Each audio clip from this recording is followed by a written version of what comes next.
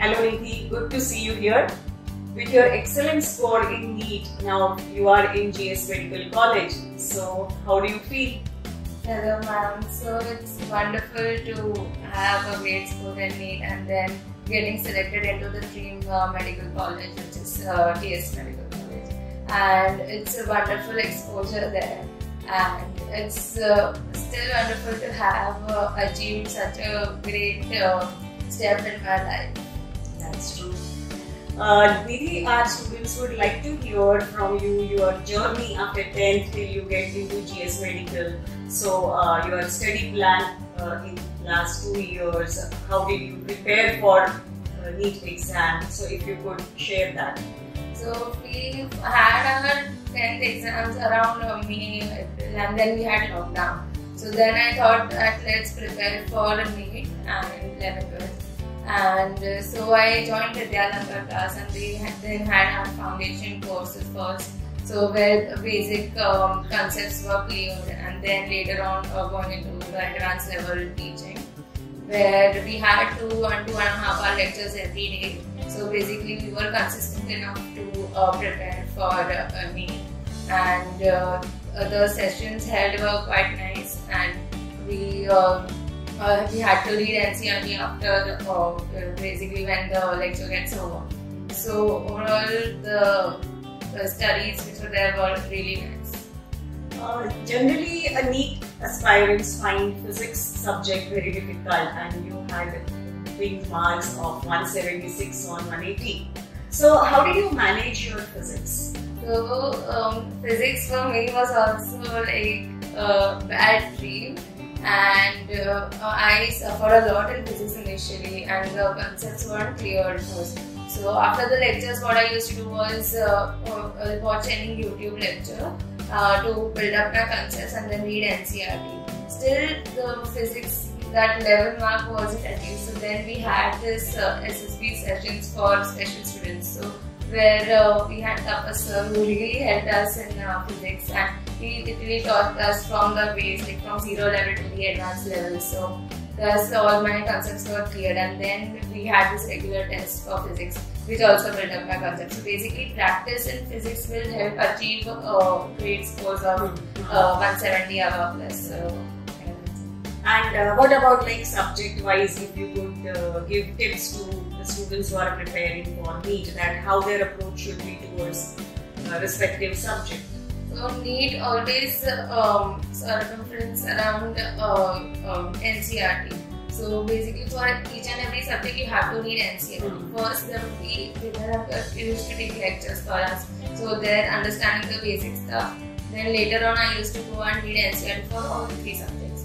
And then I used to solve models. Now for biology you have to read NCERT like really thoroughly. So I had uh, read it about 7 to 8 times and then I had solved Vidyalankar modules and then followed by MTG. And then there was a assertion reason which were also uh, put up in uh, this paper for NEET. So uh, solving assertion reason was also uh, you have to solve a assertion reason to score great in NEET. And then for chemistry, inorganic chemistry is um, NCERT based totally, and then you have to practice um, questions uh, which were there in Vidyalankar Right. module. They were they used to be Yes. And then for organic chemistry, I used to make note like first uh, uh, the Vidyalankar uh, we had ANK sir who um, used to teach the energy reactions or uh. organic chemistry reactions. And then I used to make the notes from NCERT and Vidyalankar module. So clubbing up all the uh, all the information used to be gathered in one particular note which I used to revise. Uh, and then for physical chemistry, uh, like continuous uh, practice of the Hmm. numericals is important.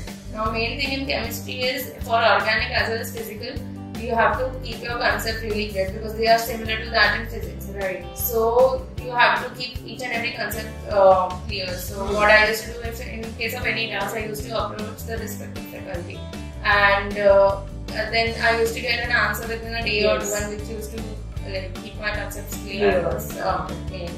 And you were consistently taking all the tests that uh, you know we had uh, scheduled in the span of two years.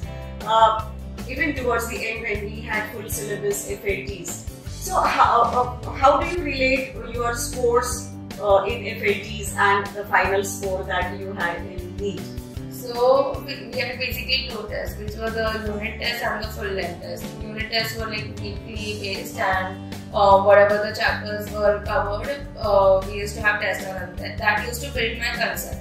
Now FLT was for revision purpose. So during the last uh, last uh, two three months, we had like ten plus tests which were there. Now the questions which were there in FLT were similar to that in NEET. Now they helped me in time managing stuff and also um, helped me to know which all uh, areas and um, uh, the respective uh, subjects were weak. So I used to go I used to go back home and then uh, revise uh, the same uh, subject and the concepts which there. Now this uh, really, I mean, I used to score 600 plus, uh, so I used, I got a rough idea like where I would lie can uh, reach where yeah. you can reach. And uh, even uh, you had solved all previous year papers. Okay, so uh, practicing those, uh, practice of solving those previous year papers, uh, It it really helped. I mean, uh, previous year, I mean, NEET will basically uh, try to replicate the previous year questions which are there in uh, like slightly changing the question pattern. Huh? So, and I used, I had some like previous year papers thrice or four times. And Last, month- last month I used to solve those only. So, I got an idea what kind of questions they would ask in NEET. Yeah, and they really help. So, uh, I mean, how you would like to guide your juniors who are preparing now for NEET? So, with my message to juniors would be be consistent, then have put in all your efforts for NEET, and um, then afterwards, when like you achieve a great result in NEET, then you will feel really happy, and then you won't have any regrets which are there. Exactly. Now, don't give up when you are starting uh, like to prepare, and there would be certain stages where it would be tough. Calling it would be a tough time. You will have to sacrifice on some certain things, but then don't give up on your studies and.